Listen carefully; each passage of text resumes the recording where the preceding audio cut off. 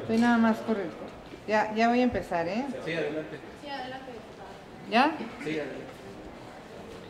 Bueno, eh, primero que nada quiero saludar a los medios de comunicación. Voy a quitar los lentes.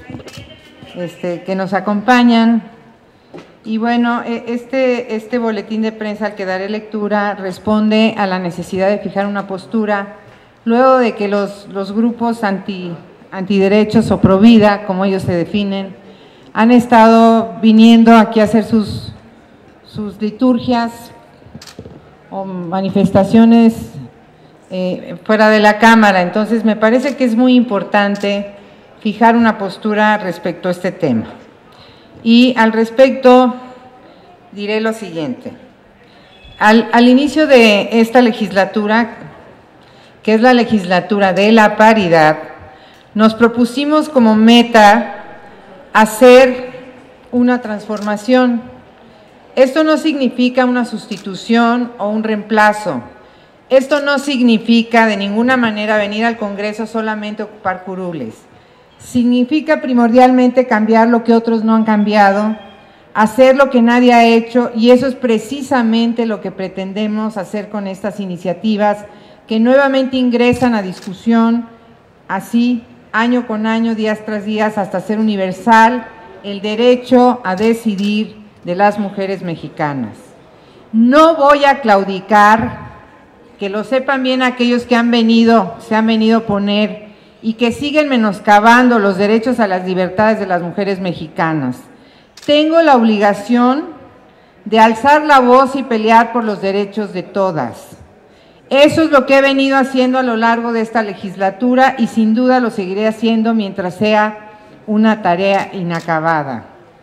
Lo vuelvo a repetir, la discusión si el aborto es un delito o es un derecho ya se dio en este país hace 12 años con la declaración de constitucionalidad de la Suprema Corte sobre la legalidad de las reformas que permitieron a las mujeres de la Ciudad de México decidir sobre su vida y sobre su cuerpo, decidir si querían que la maternidad fuera consentida o obligada. Tener el derecho como cualquier otra persona, pero sobre todo como cualquier otro hombre, la de tomar decisiones que afectan nuestra vida y nuestro cuerpo. En recientes días, nuevamente, hay gente que trata principalmente, y quiero que quede asentado esto, que trata de convertir los pecados que su dogma o credo le dictan en delitos para esta nación. Pero esta discusión ya está terminada, insisto, hay una determinación del máximo órgano jurisdiccional o judicial de este país. No vamos a convertir en iglesia a un órgano republicano laico como es la Cámara de Diputados. De ninguna manera, no lo vamos a permitir. Y como lo digo muchas veces, no vamos a legislar con las sotanas puestas y vamos a convertir un pecado, como ellos lo señalan, en delito. Y lo que repito, cuando se habla de derechos, es que no se pueden regatear esfuerzos, ni mucho menos se deben tomar decisiones con base en prejuicios, voluntades, ni mucho menos dogmas. Cuando se trata de salud no hay lugar para grilletes ideológicos, no hay espacios para banderas o banderías mezquinas. Cuando se trata de las libertades de una persona, todos debemos estar convocados a la racionalidad y a la responsabilidad social. Lo que estamos discutiendo es si las mujeres de este país debemos estar divididas en dos clases las que tienen el derecho garantizado por vivir en la Ciudad de México y las que por vivir en cualquier otra entidad no lo tienen. Comprendamos el núcleo de esta discusión. Se trata de hacer universales los derechos, de que todas las mujeres de este país tengan los mismos derechos, es decir, aplicar lo que establece el artículo primero de la Constitución.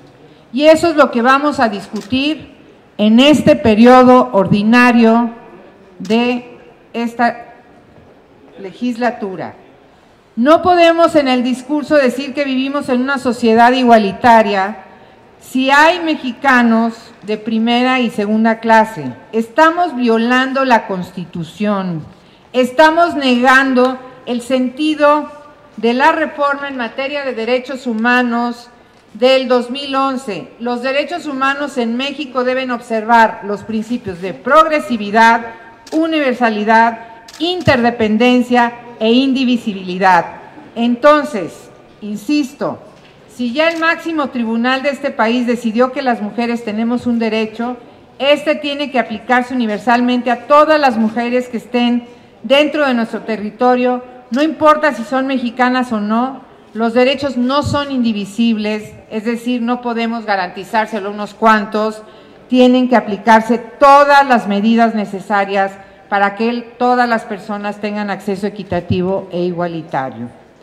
Hoy día, quienes pretenden desafiar al Congreso, pensando en un debate con posturas sobre delito derecho, están equivocados. Insisto, este debate ya fue ganado por las mujeres hace 12 años y deben comprender que estamos en otro momento. Y esto no se trata de tolerancia o de libertad. No se pueden tolerar expresiones donde se criminaliza el ejercicio de un derecho. No podemos ser tolerantes con aquello que nos daña como sociedad y como mujeres. Estas voces tienen el derecho a manifestarse, pero no a lastimar, no a señalar como homicidas a quienes hemos asumido un cargo para legislar. No hemos jurado sobre doctrinas ni evangelios, juramos sobre la Constitución y es nuestro único compromiso con la ley y quien no sea capaz de realizar su tarea bajo el juramento de la ley no tiene la independencia y la responsabilidad para legislar en favor de las mujeres y de las personas. Quien no quiere asumir esta responsabilidad está faltando a lo que juró cuando asumió el cargo para el que fue electo. No se puede defender la negación de un derecho, un derecho que ya fue ganado bajo argumentos legales, no sentencias doctrinales, un derecho que se ejerce en una porción del país y que es una injusticia que no se aplique en territorio. Para mí está clara cuál es mi misión. No dejaré de intentarlo cada día porque tengo la responsabilidad y lo asumo de frente en esta legislatura de la paridad de género de llevar a cabo las grandes exigencias de las mujeres. Y lo más importante, porque en este país se realizan de forma clandestina entre 700 mil y un millón de abortos clandestinos, como digo, cada año, según estimaciones de organizaciones que nos han acompañado dedicadas a facilitar el acceso a las mujeres a, sus libertades, como es Fondo María. Además, que según datos de la Secretaría de Salud, cada año llegan a las instituciones de salud pública más de 100 mil mujeres por una complicación en la interrupción del embarazo. ¿Cuántas defunciones hay? Aún no lo sabemos con certeza, pero sí, pero si así solo hubiera una, todos esto, ello nos obliga a plantearnos una pregunta que quizá seamos incapaces de responder sin hacer un ejercicio real de conciencia sobre lo que es la vida, la dignidad y la libertad de las mujeres. Y déjenme decirles que algunas mujeres ya las respondieron algunas semanas. ¿Qué debe, ¿Qué debe pasar para que los derechos de las mujeres sean plenamente impulsados y garantizados? Señalo, y con esto termino, con firmeza que esta legislatura no puede dejar de cumplir un compromiso histórico de hacer universal el derecho de las mujeres a decidir sobre su vida y sobre su cuerpo. Venimos a transformar lo que antes no se había querido cambiar Queremos el aborto libre y seguro y lo queremos ya. La cuarta transformación será feminista y respetará el ejercicio libre de las mujeres o no será cuarta transformación. Esta es mi posición y decirles que en los próximos días, bueno, ya presentamos dos iniciativas, una en materia de salud y otra en materia de despenalización del aborto. Y vamos a continuar en esta pelea. También propusimos la modificación al artículo 73 de la Constitución para tener la competencia de legislar en esta materia y, poder eh, elaborar un código penal único y en ese código penal único eliminar este delito que no debería estar considerado en el código penal. Es parte de los ejercicios, la decisión es nuestra, de las mujeres, nosotros tenemos la obligación, el derecho de decidir con libertad. Y así lo establece el artículo primero de la Constitución, el artículo cuarto, y un sinfín de instrumentos jurídicos que ha suscrito el Estado mexicano que nos dan esa garantía de ejercer la libertad y la decisión sobre nuestro cuerpo y sobre nuestras vidas.